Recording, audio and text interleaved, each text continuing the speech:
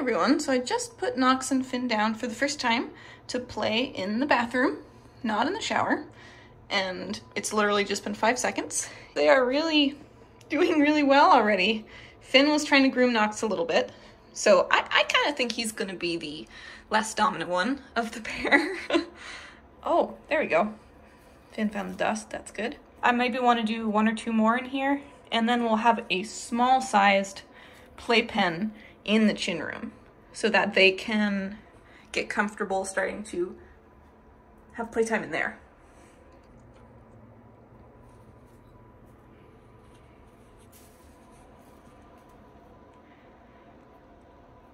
There has been no chasing. That's a really amazing thing so far. And chasing doesn't mean it's not going to work out. It's just nice to not have to worry about them. Oh, oh. So that's, again, that's that's normal. Finn doesn't prefer that. So he kind of was squeaking and getting away like, hey, I don't really like that. And he's really, I really think he's trying to be sweet. and Knox is like, well, I'm going to be in charge in this relationship. and I think that's okay with Finn. I don't get the feeling that Finn really wants to combat Knox. Otherwise, he would have turned around and kind of put his paws up and they would have stood sort of facing each other. And that hasn't happened. Finn is just sort of existing. Knox is the one who's trying to be like, hey, this is how it's going to be. And really, that little instance right there was probably the, the worst it's been. They just sort of, Knox every now and then will just sort of mount him, and Finn might, might do a little soft chirp, but there's no biting. There's not even any fur slip. They just stop and continue with what they're doing. And again, I want to point out one of the reasons that we're in here is you can see them both confused. Where are we? This isn't the play space. It doesn't smell like the cage. We want a little bit of that confusion. It just sort of takes the focus off of each other, kind of like we're in this together situation. And you can see that even when Finn is right behind Knox, he's coming up to him, he still doesn't try to mount him. He's really sweet. I don't think he has any interest in being the dominant one. hey, Noxie.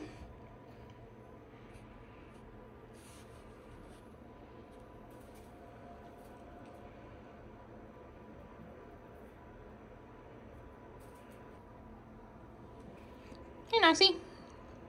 Oh. So I do want to point out the two pieces of furniture I have here. There's this thing, and there's this thing. So you have five seconds to figure out why I picked those things. They both have open ends, so nobody can get trapped. And that's really important in the chance that they would fight. We don't want someone to, to get attacked, even though I'm right here things can still happen pretty quickly, and the last thing I want is somebody getting hurt.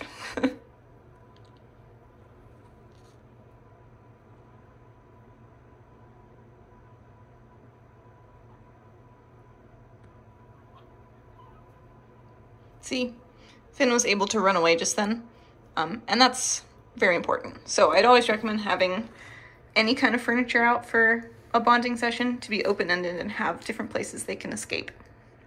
And also, if you have two chins, it's not a bad idea to have it that way in the cage as well. So like hammocks that have two sides and cubes that have two sides, other types of hides that have two holes, that kind of thing. Okay, I forgot to take this out, didn't I?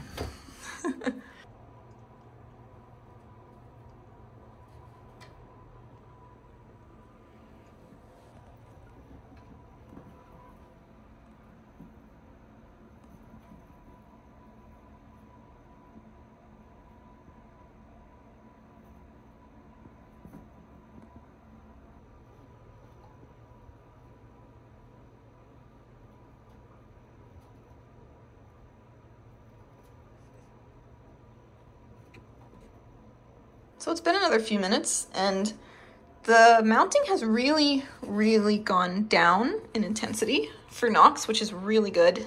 They kind of pass by each other and he might kind of do a little something, but you can see just not really, not really interested in doing that anymore. And I think it's because Finn is just so accepting. Hey, hey, hey, hey, hey. Um, he, he just doesn't put up any fight. So Knox is like, well, I guess that's that. That's, that's what I'm assuming is happening. Either way, I definitely take it as a good thing. Hi. Oh, my goodness. wow, what is going on? There's nothing in there for you. Hey everyone, we are about to do our very first playtime with Knox and Finn in the chin room in their usual play space. So you can see that I've got it blocked off to a much smaller part of the room. This is just like the same idea as the bathroom.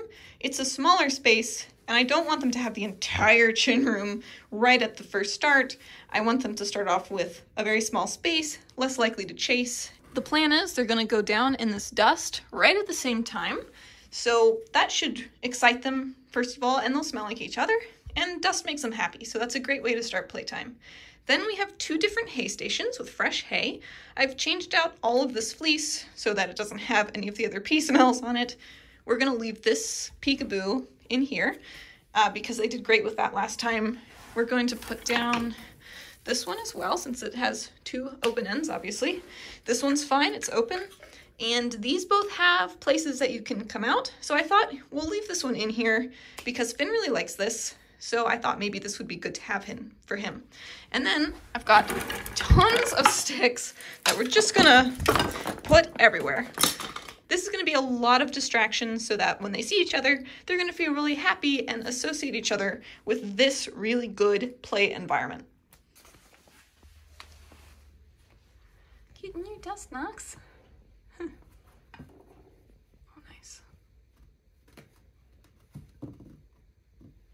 Well, sometimes that's how it starts.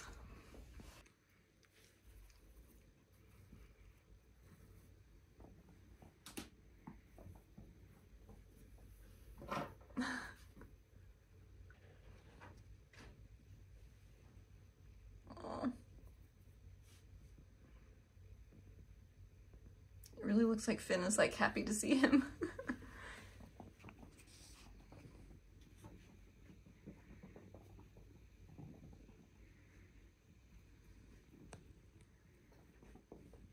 So right now they're definitely both a little confused as to why they don't have access to the entire room, but it does serve as a good distraction. And you see how important it is for him to be able to get away if he's done being dominated, which is, it's still really normal, but it's good for there to be two openings so that one can always get away, just like that.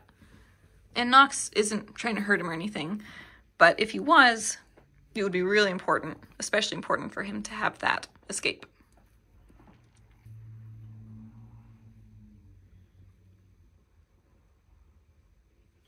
And those little moments right there are, are really good. the face to face, no fur slip, no biting, nothing like that. They're just smelling each other. Don't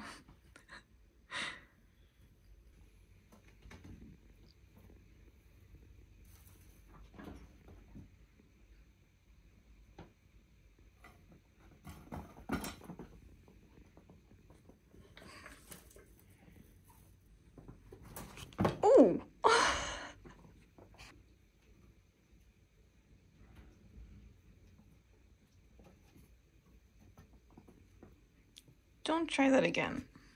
No. Go do something else. One good thing is that Finn keeps going back to see Knox even after Knox is mounting him.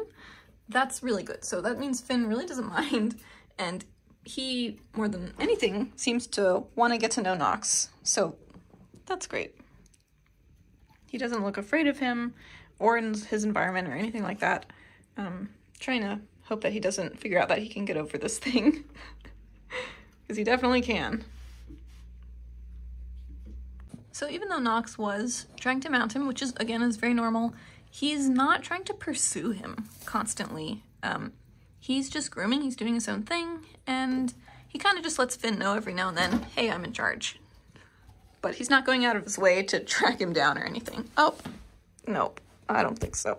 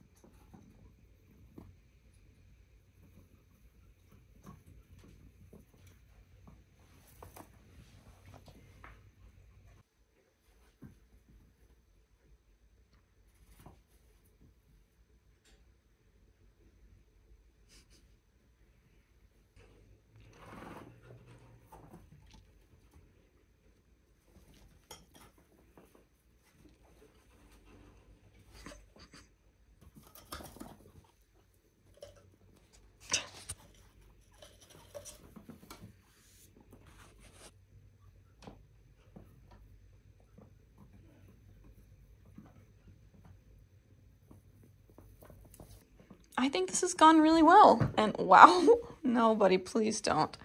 Um, I think this is pretty much how it's going to be for the next couple minutes. So I'm going to conclude this session here in just a couple minutes because I think they're pretty comfortable. And I might do this one more time before I open it up to the whole chin room and we see how it goes.